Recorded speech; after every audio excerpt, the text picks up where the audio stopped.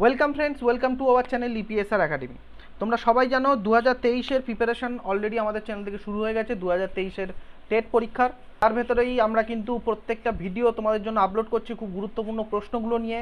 বিশেষত প্রিভিয়াস ইয়ারের বিভিন্ন কোশ্চেন আমরা কিন্তু অল্টারনেট ওয়েতে তোমাদের সামনে নিয়ে আসছি, বিভিন্ন সাবজেক্ট ওয়াইজ সেরকমভাবেই আজকে তোমাদের সামনে নিয়ে এসেছি চাইল্ড ডেভেলপমেন্ট অ্যান্ড পেডাগোগি তোমরা সবাই জানো দু হাজার তেইশের টেট এবং নর্মালি যে টেট পরীক্ষা হয় ওয়েস্ট বেঙ্গলে সেই টেট পরীক্ষায় মোট পাঁচটা পার্ট থাকে। পাঁচটা পার্টের মধ্যে অর্থাৎ পাঁচটা সাবজেক্ট থাকে, তার মধ্যে চাইল্ড ডেভেলপমেন্ট অ্যান্ড পেডাগোগি এটা খুব গুরুত্বপূর্ণ। কারণ বেশিরভাগ স্টুডেন্ট ম্যাথামেটিক্স এবং ইংলিশে নাম্বার তুলতে পারে না। সেক্ষেত্রে তাদের ইভিএস বা চাইল্ড পেডাগোগি এইগুলোর ক্ষেত্রে তারা একটু নাম্বার তোলার চেষ্টা করে। সুতরাং এই পার্টগুলোতে তোমরা যদি থার্টির ভেতরে টোয়েন্টি ফাইভ বা টোয়েন্টি সেভেনের আপ অ্যান্সার করে আসতে পারো অবশ্যই সেটা কারেক্ট অ্যান্সার তাহলে তোমাদের পরীক্ষায় নাম্বার ইনক্রিজ করতে সুবিধা হবে। এবং আমরা যেটা বলেছিলাম স্ট্যাটিস্টিক্স দেখে বলেছিলাম যে আমাদের প্রিভিয়াস একটি ভিডিওতে আমরা আলোচনা করেছিলাম। এই বছর অর্থাৎ দু হাজার তেইশের তোমাদের পরীক্ষায় কিন্তু হান্ড্রেড আপ স্কোর তোমাদের সবাইকে করতে হবে। যারা এসসি এসটি জেনারেল প্রত্যেকে যারা আছো, তাদের সবাইকে বলছি একশোর ওপরে মার্কস তোমাদের কিন্তু টেটে আনতেই হবে। কম্পিটিশানে টিকে থাকতে গেলে একশোর ওপরে মার্কস তোমাদের লাগবেই। যাই হোক বেশি কথা না বলে আজকের আমাদের মূল আলোচনার যে টপিকের যে মূল বিষয়, সেটা নিয়ে আমরা আলোচনা করছি। সেটা শুরু করে দিই। দেখো, তোমাদের চাইল্ড ডেভেলপমেন্ট অ্যান্ড পেডাগোগির খুব গুরুত্বপূর্ণ কিছু প্রশ্ন নিয়ে আলোচনা করব। খুব কম লিমিটেড টাইমের মধ্যে তোমাদের ভিডিও হবে। ভিডিওটা আশা করব তোমরা সবাই শেষ পর্যন্ত দেখবে। প্রথম প্রশ্ন দেখো, এখানে বলেছে শিশু কেন্দ্রিক পেডাগোগির মূলনীতি কী? চারটে অপশান আছে। প্রথম অপশান, শিশুদের নৈতিক শিক্ষাদান। শিশুদের চিন্তন ক্ষমতা, প্রাধান্য ও তাদের সক্রিয় অংশগ্রহণ, শিক্ষকদের আচরণ অনুসরণ ও অনুকরণ, আর লাস্ট অপশান শিশুদের সম্পূর্ণ স্বাধীনতা দান। এর মধ্যে কোন অপশানটা অ্যাপ্রোপ্রিয়েট অপশান বি হবে রাইট অ্যান্সার অর্থাৎ শিশুদের চিন্তন ক্ষমতার প্রাধান্য ও তাদের সক্রিয় অংশগ্রহণ। নেক্সট প্রশ্ন দেখো। পিতামাতাকে খুঁজতে না, পিতামাতাকে খুঁজে না পেলে গৃহে শিশু কান্না শুরু করে দেয়। নিচের কোন তত্ত্বটি শিশুর এই জাতীয় আচরণের ব্যাখ্যা দেয়? চারটে অপশান আছে। পিয়াজের প্রজ্ঞামূলক বিকাশের তত্ত্ব, কোহলবার্গের নৈতিক বিকাশের তত্ত্ব, অনুরাগ ও আসক্তির তত্ত্ব বাস্তু সংস্থান সংক্রান্ত তত্ত্ব। খুব সহজ। তোমরা দেখেই বুঝতে পারছ অপশানগুলো কারেক্ট অপশান হয়ে যাচ্ছে। অনুরাগ ও আসক্তির তত্ত্ব। অপশান সি হবে রাইট অ্যান্সার নেক্সট প্রশ্ন, তিন নম্বর প্রশ্ন আপনি শ্রেণীকক্ষে শিক্ষার্থীদের বিভিন্ন দলগত কর্মসূচি, যেমন দলগত আলোচনা, প্রকল্প নির্মাণ ভূমিকাভিনয় প্রভৃতিতে ব্যস্ত রাখেন। আপনি কোন ধরনের শিক্ষামূলক অভিমুখ আচরণ করেন? খুব গুরুত্বপূর্ণ দেখো বন্ধুরা, প্রশ্নটা ভালো করে ডিটেলসে পড়বে। এর কারেক্ট অ্যান্সার এখানে চারটে অপশান আছে।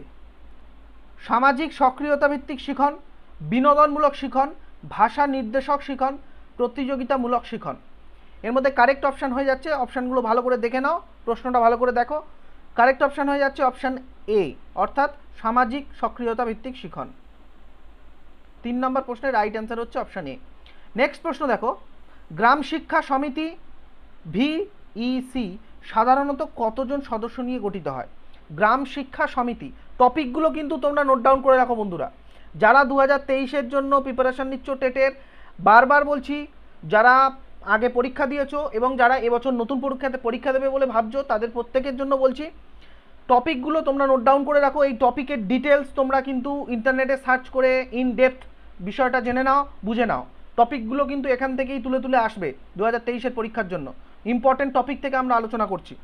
চারটে অপশান আছে, ছয় থেকে পনেরো জন, সাত থেকে পনেরো জন, ছয় থেকে চোদ্দ জন, সাত থেকে চোদ্দ জন। এর মধ্যে কোনটা কারেক্ট অ্যান্সার হয়ে যাচ্ছে? কারেক্ট অ্যান্সার হচ্ছে অপশন বি অর্থাৎ সাত থেকে পনেরো। নেক্সট প্রশ্ন দেখো, শিক্ষায় অনুন্নয়ন হলো, শিক্ষায় অনুন্নয়ন হলো, চারটে অপশান শিক্ষার শিক্ষার পথে বাধা সৃষ্টি করা, শিক্ষায় সুযোগ না পাওয়া, শিক্ষাকালীন সময়ে বিদ্যালয় ছুট হয়ে যাওয়া, একই শ্রেণীতে একাধিকবার আটকে থাকা। এর মধ্যে কোনটা সবথেকে অ্যাপ্রোপ্রিয়েট মনে হচ্ছে তোমাদের? অবশ্যই অপশান ডি এই সব ক্ষেত্রে অবশ্যই অপশান ডি হবে। বারবার প্রশ্নের প্যাটার্নটা বুঝে নাও, প্রশ্নের উত্তর এবং অপশান দেওয়ার অপশান দেওয়ার ধরনগুলো দেখে নাও। এখানে কিন্তু প্রত্যেকটাই অ্যাপ্রোপ্রিয়েট এর মধ্যে প্রত্যেকটাই কিন্তু সঠিক।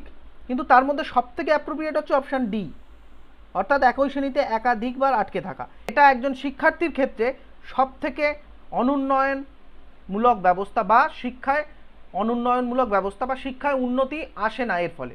এটা মূল কারণ। বাকিগুলো সবগুলোই ঠিক, কিন্তু অ্যাপ্রোপ্রিয়েট অপশান ডি নেক্সট প্রশ্ন দেখো, যৌবনাগম শৈশবের পুনরাবৃত্তি কে বলেন? এই তত্ত্বটি কে বলেন? যৌবনাগম শৈশবের পুনরাবৃত্তি।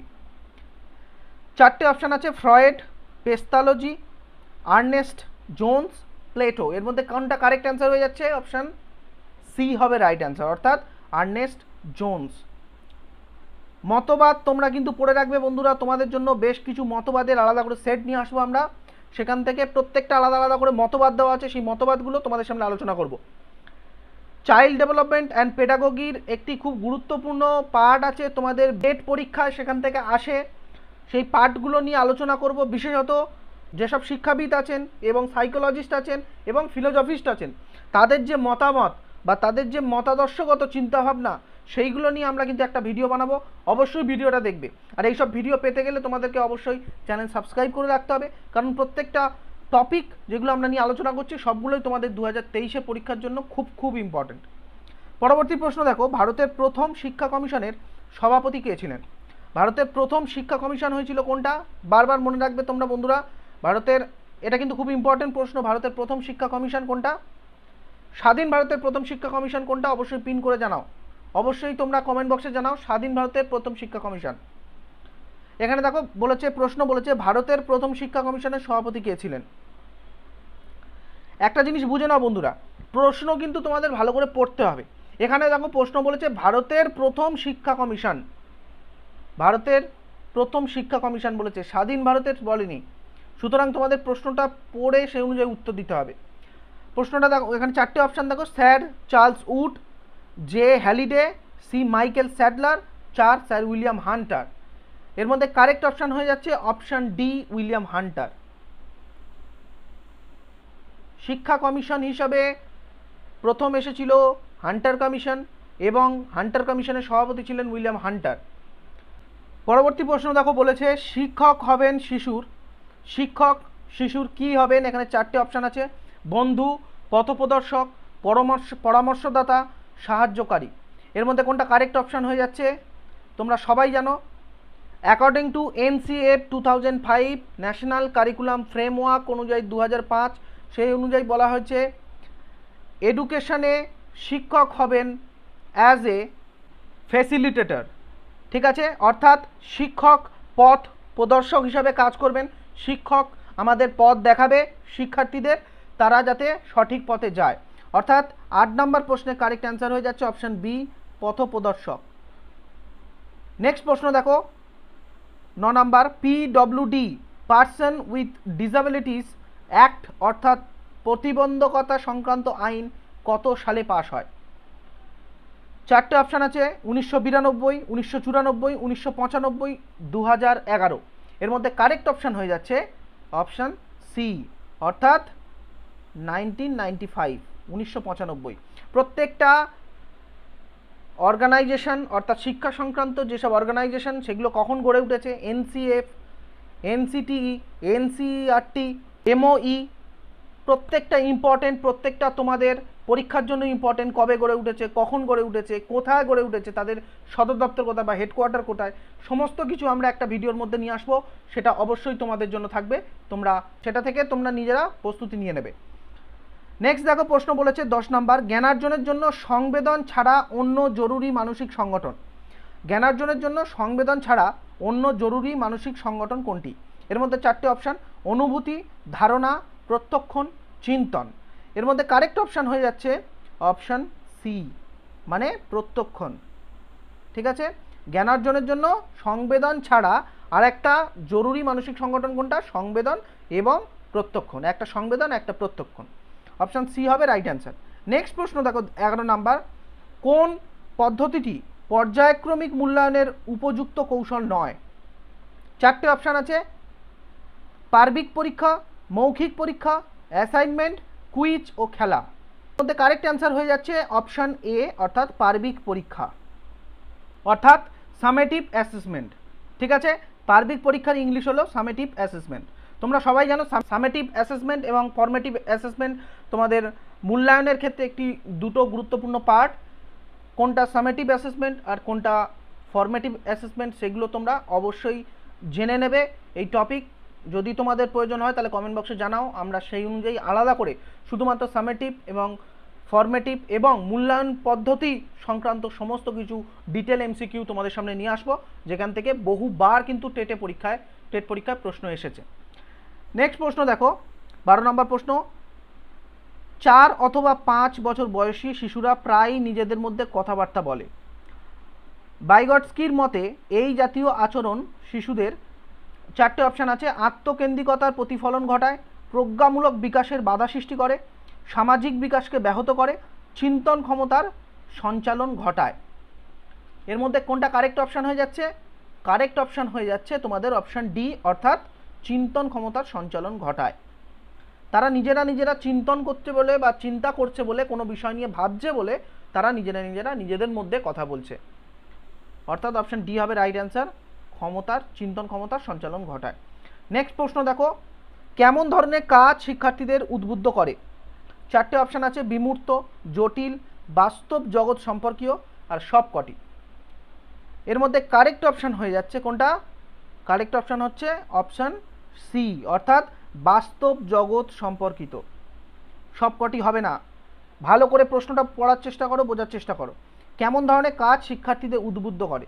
বাস্তব জগৎ সম্পর্কিত সমস্ত ধরনের কাজ তাদেরকে উদ্বুদ্ধ করে ইন্সপায়ার করে। যদি তোমার, যদি যে কোনো বিষয়ে পড়ানোর সময় শিক্ষার্থীদের যদি কোনো বাস্তব রিলেটেড বা ঘটনা বা কোনো বাস্তবিক কোনো ঘটনার সাথে যদি রিলেট করে পড়ানো যায় বা উদাহরণ দেওয়া যায় এক্সাম্পল দেওয়া যায় বা রিলেশন করানো যায় তাদের মধ্যে, তাহলে শিক্ষার্থীদের মধ্যে আগ্রহ বেশি তৈরি হয়। নেক্সট প্রশ্ন দেখো, কর্ম কর্মসম্পদে সাফল্য পেলে শিশুরা ড্যাশ বোধ করে। কর্মসম্পদে সাফল্য পেলে শিশুরা ড্যাশ বোধ করে। চারটে অপশান আছে, গর্ব, লজ্জা, বিস্ময়, অহংকার।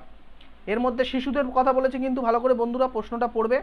এর মধ্যে কোনটা কারেক্ট অ্যান্সার হয়ে যাচ্ছে? কারেক্ট অ্যান্সার হচ্ছে অপশান এ ঠিক আছে? এটা খুব সহজ একটি প্রশ্ন। অপশান এ অর্থাৎ গর্ব। নেক্সট প্রশ্ন দেখো। শিখন শৈলীর অক্ষমতাকে বলা হয়। শিখন শৈলীর অক্ষমতাকে কি বলা হয়? চারটে অপশান আছে। এর মধ্যে কোনটা কারেক্ট অ্যান্সার হয়ে যাচ্ছে? কারেক্ট অ্যান্সার কোনটা হবে? কারেক্ট অ্যান্সার হবে অপশান বি অর্থাৎ ডিসগ্রাফিয়া লেখা সংক্রান্ত, ঠিক আছে?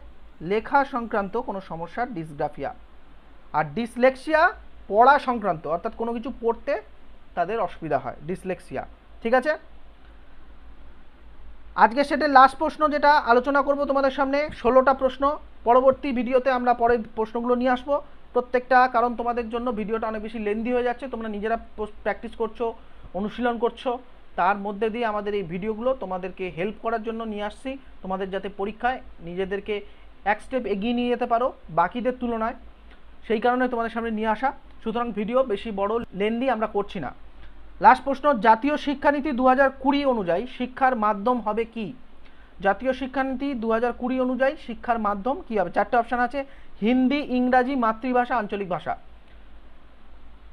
জাতীয় শিক্ষানীতি nineteen eighty six, national education policy nineteen eighty six, national education policy twenty twenty. এই নিয়ে তোমাদের একটি ভিডিও আনব, অবশ্যই ভিডিওটা দেখবে, সেখানে ডিটেলস থাকবে। উনিশশো ছিয়াশির এডুকেশন পলিসি আর দু হাজার কুড়ির এডুকেশন পলিসি সমস্ত ডিটেলস থাকবে ওখানে। এই প্রশ্নের কারেক্ট অ্যান্সার হয়ে যাচ্ছে অপশান সি অর্থাৎ মাতৃভাষা। ঠিক আছে? আজকের ভিডিওটা এই পর্যন্ত। যদি ভিডিওটা ভালো লাগে, নতুন যারা দেখছ, তাদের যদি ভিডিওটা ভালো লাগে, অবশ্যই লাইক করো কমেন্ট করো শেয়ার করো। আর যদি আমাদের চ্যানেলে নতুন কোনো দর্শক বন্ধু দেখে থাকো, তাহলে অবশ্যই চ্যানেলটা সাবস্ক্রাইব করে নিও। তোমাদের টেটের ক্ষেত্রে এখানে খুব গুরুত্বপূর্ণ টপিক বা গুরুত্বপূর্ণ প্রশ্ন নিয়ে তোমাদের সামনে আলোচনা করা হয়। যদি ভিডিওটা ভালো লাগে সাবস্ক্রাইব, লাইক এবং কমেন্ট করবে। দেখা হচ্ছে নতুন কোনো ভিডিওতে, ততক্ষণ পর্যন্ত সবাই সুস্থ থাকো। Thank you thanks for watching